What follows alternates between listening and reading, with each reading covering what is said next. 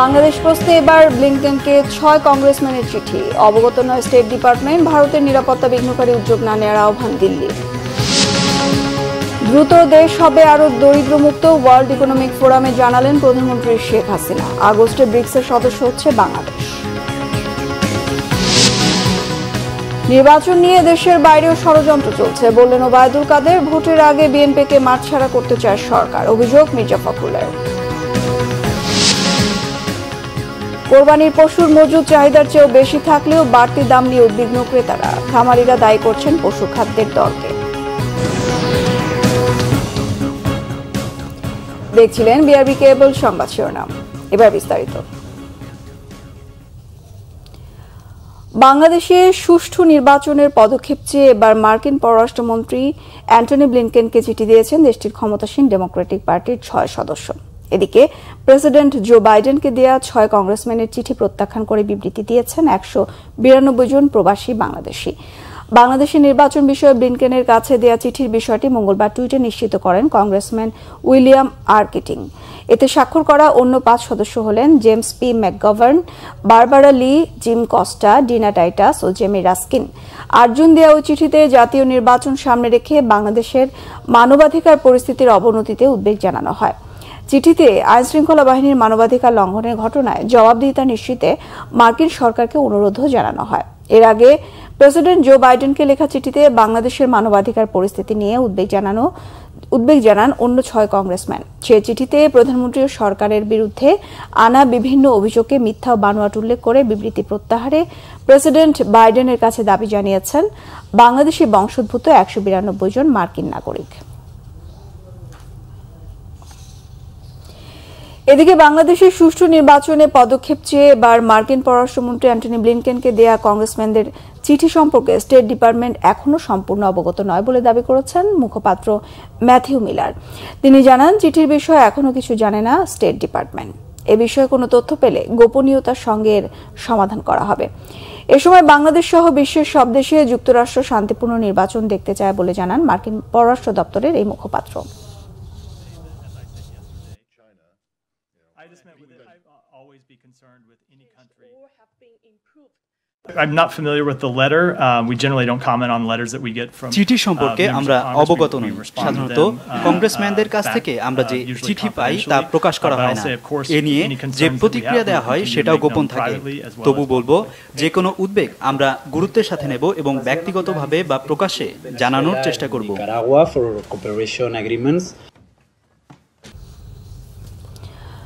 প্রধানমন্ত্রী শেখ হাসিনা বলেছেন, বাংলাদেশ দ্রুতই অতি দরিদ্র মুক্ত দেশে পরিণত হবে। গত দেড় দশকে দেশে দারিদ্র্যের হার তেতাল্লিশ থেকে কমে নেমে এসেছে আঠারো শতাংশে। বৃহস্পতিবার সুইজারল্যান্ডের জেনেভাস্থ ওয়ার্ল্ড ইকোনমিক ফোরাম ডব্লিউইএফ আয়োজিত আলোচনায় প্রধানমন্ত্রী এসব কথা বলেন।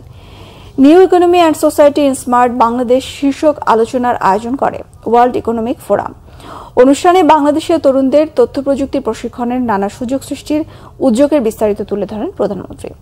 স্মার্ট বাংলাদেশ গঠনে সরকারের চলমান নানা উদ্যোগও উঠে আসে তার বক্তব্যে। এর আগে বুধবার কাতারের শ্রমমন্ত্রী দেখা করেন প্রধানমন্ত্রী শেখ হাসিনার সঙ্গে। এ সময় প্রবাসী শ্রমিক জ্বালানি সহ দুদেশের স্বার্থ সংশ্লিষ্ট বিভিন্ন বিষয় নিয়ে তাদের মধ্যে আলোচনা হয়। প্রধানমন্ত্রী বৃহস্পতিবার সুইজারল্যান্ডের সময় বিকেলে যোগ দেবেন সে দেশে বসবাসরত প্রবাসী বাংলাদেশিদের আয়োজিত সংবর্ধনায়।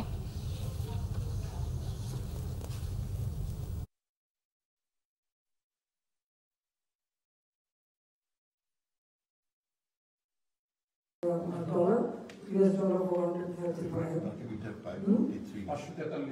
And four hundred, uh, five hundred forty-three dollar per capita income, now it is two thousand eight hundred twenty-four Marine dollar. They can earn. So per capita income has been increased. And poverty level, it was forty-one percent, now we reduced to eighteen point seven percent. And extreme poverty level was about twenty-five percent, now it reduced to five point six percent, but I'm very much hopeful that we will, you know, overcome that. There will be no extreme poverty in our country. That we will do very soon. আগস্টে বাংলাদেশ ব্রিক্সের সদস্য হতে যাচ্ছেন বলে জানিয়েছেন পররাষ্ট্রমন্ত্রী doctor A কে আব্দুল মোমেন বুধবার সুইজারল্যান্ডের জেনেভায় দক্ষিণ আফ্রিকার প্রেসিডেন্ট মাতামেলা সাইরিল রামাপোসা এবং বাংলাদেশের প্রধানমন্ত্রী শেখ হাসিনা বৈঠকের পর এক সংবাদ সম্মেলনে পররাষ্ট্রমন্ত্রী একথা জানান। ব্রিক্সে যোগদানের সুবিধার কথা তুলে ধরে মোমেন বলেন, এটা বাংলাদেশের অর্থায়নের আরেকটি ক্ষেত্র হবে। বলেন, আগস্টে ব্রিক্স সম্মেলন হবে। প্রধানমন্ত্রী শেখ হাসিনা তাতে যোগ দেবেন। পররাষ্ট্রমন্ত্রী আরও বলেন, ব্রিক্সে এখন পাঁচ সদস্য। আগামীতে আরও আটটি দেশকে সদস্য করা হবে। তার মধ্যে বাংলাদেশ, সৌদি আরব, সংযুক্ত আরব আমিরাত ও ইন্দোনেশিয়াকে আমন্ত্রণ জানানো হয়েছে। আওয়ামী লীগের সাধারণ সম্পাদক ওবায়দুল কাদের অভিযোগ করেছেন, আগামী নির্বাচন নিয়ে শুধু দেশে নয়, দেশের বাইরেও চক্রান্ত চলছে। বিএনপি লবিস্ট নিয়োগ করে চক্রান্ত করছে। এদিকে তথ্য সম্প্রচার মন্ত্রী এবং আওয়ামী লীগের যুগ্ম সাধারণ সম্পাদক ডক্টর হাসান মাহমুদ বলেছেন, বেগম খালেদা জিয়াকে রাজনীতির পণ্য বানিয়েছে বিএনপি। মহিবুল্লাহ মুহিবের রিপোর্ট। বঙ্গবন্ধু এভিনিউয়ে কেন্দ্রীয় কার্যালয়ে কৃষক লীগ আয়োজিত তিন মাস ব্যাপী বৃক্ষরোপণ কার্যক্রমের উদ্বোধন করেন আওয়ামী লীগ সাধারণ সম্পাদক ওবায়দুল কাদের। নির্বাচন নিয়ে বিএনপি মহাসচিবের মন্তব্য প্রত্যাহার করে ক্ষমা চাওয়ার আহ্বান জানান ওবায়দুল কাদের। বলেন দেশের সুষ্ঠু নির্বাচন নিয়ে মির্জা ফখরুলের মন্তব্য বিশ্রী ও বিষাক্ত। দিনের বেলা জেগে জেগেও ফখরুল এখন স্বপ্ন দেখছে নির্বাচন সম্পর্কে বলতে গিয়ে তার মুখের বিষ এতই উগ্র। বলছে কুত্তা মার্কা নির্বাচন। একটা দলের মহাসচিবের মুখ থেকে এমন বিষাক্ত কথা কি করে বের হয়? আমি তাকে বলব এবং যাদেরকে সব যারা চিঠি দিচ্ছে তাদের দৃষ্টি আকর্ষণ করব। কুত্তামার্কা নির্বাচন। এই শব্দ ব্যবহার করো, করার পরও ভিসা নীতি এখানে কি বলবে? আজকে বাংলাদেশের নির্বাচন নিয়ে শুধু বাংলাদেশ নয়, বাংলাদেশের বাইরেও খেলা চলছে। এদিকে সচিবালয়ে সাংবাদিকদের সাথে কথা বলেন তথ্য ও সম্প্রচার মন্ত্রী ডক্টর হাসান মাহমুদ। বেগম জিয়াকে নিয়ে বিএনপি রাজনীতি করছে উল্লেখ করে তথ্যমন্ত্রী বলেন, চিকিৎসকরা তার অবস্থা স্থিতিশীল জানালেও মির্জা ফখরুল বলছেন, বেগম জিয়ার অবস্থা সংকটাপন্ন। মির্জা ফখরুল ইসলাম, আলমগীর সাহেব যখন বক্তৃতা করে, তখন মনে হয় ভিতরে ভিতরে উনি এখন এফআরসিএসও পাশ করেছেন। উনি এখন বিশেষজ্ঞ ডাক্তারও বটে। কারণ বিশেষজ্ঞ ডাক্তাররা বলছে, তিনি তার শারীরিক অবস্থা স্থিতিশীল। আর মির্জা ফখরুল ইসলাম আলমগীর সাহেব গলা ফাটিয়ে বলেন, উনি জীবন, মরণ, সন্ধিক্ষণে একজন মানুষের স্বাস্থ্যকে রাজনীতিকরণ। উদাহরণ হচ্ছে মির্জা ফখরুল ইসলাম আলমগীর সাহেব সহ বিএনপি নেতাদের বেগম খালেদা জিয়ার স্বাস্থ্য নিয়ে নানা বক্তব্য। অপরদিকে, বনানীর বিআরটিএ কার্যালয়ে ঈদযাত্রা নিয়ে প্রস্তুতিমূলক সভা অনুষ্ঠিত হয়। এ সময় ঈদের আগে ক্ষতিগ্রস্ত সড়ক মেরামতের নির্দেশ দেন সড়ক পরিবহন ও সেতুমন্ত্রী শেষ যাবে তবে। মুহিবুল্লাহ মুহিব বাংলা ভিশন ঢাকা। নির্বাচন সামনে রেখে পুলিশ ও প্রশাসনে ব্যাপক পদোন্নতি ও রদবদল করে আওয়ামী লীগ নিজেদের মতো মাঠ সাজিয়ে নিতে চায় অভিযোগ বিএনপি মহাসচিব মির্জা ফখরুল ইসলাম আলমগীরের। বলেন নির্বাচনের আগে বিরোধী দলকে মাঠছাড়া করতে বিএনপি নেতাদের উপর হামলা এবং মিথ্যা মামলা করা হচ্ছে। জাহাঙ্গীর আকন্দের সহায়তায় মিরাজ হোসেন গাজীর রিপোর্ট। গুলশানে বিএনপি চেয়ারপারসন বেগম খালেদা জিয়ার কার্যালয়ে সংবাদ সম্মেলন করেন দলের মহাসচিব মির্জা ফখরুল ইসলাম আলমগীর। সম্প্রতি নরসিংদী জেলা বিএনপির কার্যালয় ও বিএনপি নেতা খায়রুল কবির খোকনের বাড়িতে বোমা হামলা এবং আগুনের ঘটনার নিন্দা জানান তিনি। হামলাকারী ও নেপথ্যের গডফাদারদের দ্রুত আইনের আওতায় আনার দাবি জানিয়ে বলেন, বিনা ভোটে ক্ষমতায় আসার জন্যই এসব হামলা মামলা। আজকে দেখেছেন আপনারা যে আমাদের নেতা কর্মীদের মামলাগুলোকে দ্রুত শেষ করার চেষ্টা করা হচ্ছে। উদ্দেশ্য একটা যেটা আমি প্রথমেই বলেছি একটাই উদ্দেশ্য যে নির্বাচনের আগে বিএনপিকে মাঠ ছাড়া করে দেওয়া বাস তাহলে হয়ে গেল। ক্যান্ডিডেট যদি না থাকে তখন নির্বাচন কি হবে? তাই না? আজকে সেই লক্ষ্যে তারা নেমেছে।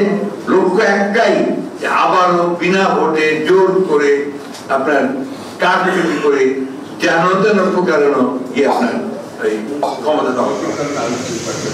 এর আগে সংবাদপত্রের কালো দিবস উপলক্ষে ঢাকা রিপোর্টার্স ইউনিটিতে জাতীয়তাবাদী সাংস্কৃতিক ফোরামের আলোচনা সভায় বক্তব্য রাখেন মির্জা ফখরুল ইসলাম আলমগীর। তিনি বলেন, আওয়ামী লীগ গণতন্ত্রের মোড়কে বাকশাল চালু করেছে। মির্জা ফখরুল বলেন, নির্বাচনকে সামনে রেখে সব ক্ষেত্রে দলীয়করণ করছে সরকার। যে পুলিশের ব্যাপক রদবদল ব্যাপক পদোন্নতি, সাড়ে সাতশো জনকে পদোন্নতি দেওয়া হচ্ছে। আর পোস্টিংগুলো সব করা হচ্ছে। এখন মাথার মধ্যে নির্বাচন। আবার গতকাল দেখলাম সচিবদেরও পরিবর্তন করা হচ্ছে, অর্থাৎ প্রশাসনেও পরিবর্তন আনা হচ্ছে। একই উদ্দেশ্য, যে আপনার নির্বাচনকে সামনে রেখে তারা তাদের মতো করে সব কিছু সাজিয়ে নিতে চায়। সবাই তাই চায়। সবাই তাই চায়। পাকশালা করেছিলেন আপনারা।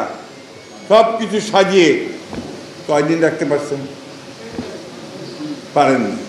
বেগম খালেদা জিয়াকে রাজনীতি থেকে সরিয়ে দিতে বিদেশে চিকিৎসার সুযোগ না দিয়ে সরকার মানবাধিকার লঙ্ঘন করছে বলেও অভিযোগ করেন বিএনপির মহাসচিব। সংগঠন তর্ক তৈরি করার অধিকার মিরাজ হোসেন গাজী বাংলা ভিশন ঢাকা স্পেসটাকে বন্ধ করে দিয়েছে। এবার সারা দেশে কোরবানির পশু চাহিদার চেয়ে মজুদ একুশ লাখ একচল্লিশ হাজার বেশি রয়েছে। এত মজুদ থাকার পরেও পশুর বেশি দাম নিয়ে উদ্বিগ্ন ক্রেতারা। পশু খাদ্যের দাম বেশি হওয়াকে এর কারণ বলছেন খামারিরা। তবে পশুর বাজার রাজধানী কেন্দ্রিক হওয়ায় দাম আরও বাড়ে। রাজধানীর খামারি, ক্রেতা, প্রাণী সম্পদ অধিদপ্তর সংশ্লিষ্টদের সঙ্গে কথা বলে ইসমাইল হোসেন পলাশের তোলা ছবিতে আরও জানাচ্ছেন সৈকত সাদিক। রাজধানীর একটি খামারে কুরবানির পশুর দর কষাকষি করছেন ব্যবসায়ী নুরুল হক শেখ। একটু স্বাচ্ছন্দ্যে পশু কিনতে হাটের বদলে খামারে আসেন। তবে এবার পশুর দাম বেশি হওয়ায় উদ্বিগ্ন তিনি।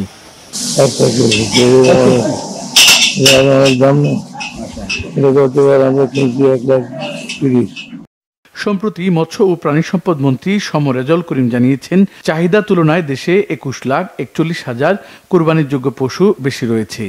দেশে কোরবানির পশুর কোনো সংকট নেই। এই তথ্য অনুযায়ী দেশে কোরবানির যোগ্য পশুর মোট পরিমাণ এক কোটি পঁচিশ লাখ ছত্রিশ হাজার তিনশো তেত্রিশ। পশুর মোট চাহিদা রয়েছে এক কোটি তিন লাখ চুরানব্বই হাজার সাতশো উনচল্লিশ। বেশি রয়েছে একুশ লাখ একচল্লিশ হাজার পাঁচশো চুরানব্বই। এর মধ্যে গরু ও মহিষের পরিমাণ আটচল্লিশ লাখ তিয়াত্তর হাজার। ছাগল ভেড়া ছিয়াত্তর লাখ নব্বই হাজার।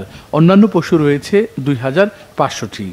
প্রাণী সম্পদ অধিদপ্তর বলছে, সারা দেশের ইউনিয়ন পর্যায় থেকে শুরু করে উপজেলা, জেলা এবং বিভাগ অনুযায়ী ডাটাবেস তথ্য নিয়ে কোরবানির পশুর সংখ্যা চূড়ান্ত করা হয়ে থাকে। ইউনিয়ন পর্যায় পর্যন্ত আমাদের কর্মী রয়েছে। বিভিন্ন প্রকল্পের কর্মী রয়েছে, আমাদের রাজস্বর কর্মী রয়েছে। তাদের মাধ্যমে একেবারেই আমাদের লিস্ট লিপিবদ্ধ করা হয়। তাদের তালিকা প্রণয়ন করে উপজেলা ইউনিয়ন থেকে উপজেলা উপজেলা থেকে জেলা জেলা থেকে বিভাগ বিভাগ থেকে কেন্দ্রীয়ভাবে কিন্তু আমাদেরকে এই তালিকা প্রেরণ করা হয়। তার ভিত্তিতেই আমরা এই গবাদি পশুর সংখ্যা নিরূপণ করি। সরকারি তথ্যের সঙ্গে পশুর ক্রেতা বিক্রেতা ও খামারিরাও একমত। সেক্ষেত্রে উদ্বৃত্ত থাকার পরও কেন পশুর দাম বেশি এমন প্রশ্নের জবাবে খামারিরা জানালেন পশু খাদ্যের দর বেড়ে যাওয়ায় এবার পশুর দাম বেশি। আমাদের যে দেশি গোখাদ্যটা গোখাদ্যর দাম চড়ার কারণে খামারিদের একটু বিভাগে পড়তে হচ্ছে। দাম কীভাবে কমবে? এখন আপনি একটা জিনিস কিনতেছেন, কিনে ওটাকে খাওয়াচ্ছেন লালন করাচ্ছেন, এখন কস্টিংয়ে তো আপনি মিলতে হবে। কস্টিংয়ের বাইরে তো আপনি দিবেন না, লাভ কম করেন। কস্টিংয়ের বাইরে তো আপনার দেওয়ার কোনো সুযোগ নেই। ক্রেতার চাহিদা অনুযায়ী রাজধানীর খামারগুলোতে ছোট মাঝারি আকারের পশুর মজুদ বেশি রাখা হয়েছে। পাশাপাশি খামারগুলোতে শৌখিন ও বিত্তশালী ক্রেতাদের জন্য রয়েছে বড় আকারের পশু। কোরবানির ঈদকে সামনে রেখে কৃষক, খামারি সবার টার্গেট রাজধানী কেন্দ্রিক হাটগুলো। অল্প দিনের মধ্যেই রাজধানীর পশুর হাটগুলো জমে উঠবে বলে আশা সংশ্লিষ্টদের। সৈকুল সাদিক, বাংলা ভিশন, ঢাকা। বাংলাদেশের পার্বত্য অঞ্চলে কুকি চীন ও বিচ্ছিন্নতাবাদী জঙ্গি সংগঠনের অপতৎপরতা দমনে বিজেপিকে সহযোগিতা দেবে ভারতীয় সীমান্তরক্ষী বাহিনী বিএসএফ। নয়াদিল্লিতে বিজিবি বিএসএফ এর মহাপরিচালক পর্যায়ের দ্বিপাক্ষিক সম্মেলনে এমন আশ্বাস দিয়েছেন বিএসএফ এর মহাপরিচালক। এগারো থেকে চোদ্দ জুন, চার দিন ব্যাপী ভারতের নয়াদিল্লিতে হয় বাংলাদেশের বিজিবি ও ভারতের বিএসএফ এর মহাপরিচালক পর্যায়ের তিপ্পান্নতম সীমান্ত সম্মেলন।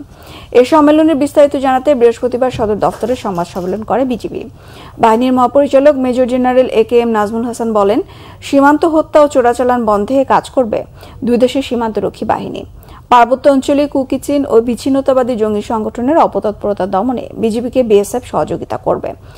ঈদুল আজহায় ভারত থেকে গরু আনার বিষয়ে কোনো সিদ্ধান্ত হয়নি বলেও জানান বিজেপির মহাপরিচালক। সংবাদ শেষ করব বিআরবি কেবল শিরোনামগুলো আর একবার জানিয়ে।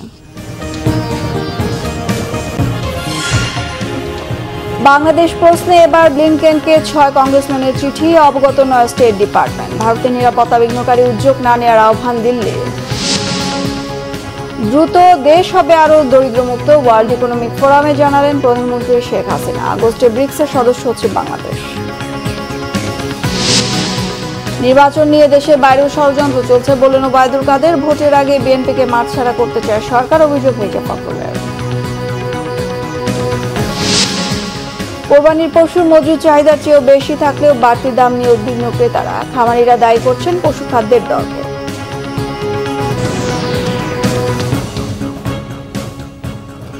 এই ছিল এখনকার মতো, পরের সংবাদ সকাল দশটায়, নয়টায় রয়েছে নিউজ টপ টেন দেখার আমন্ত্রণ রইল।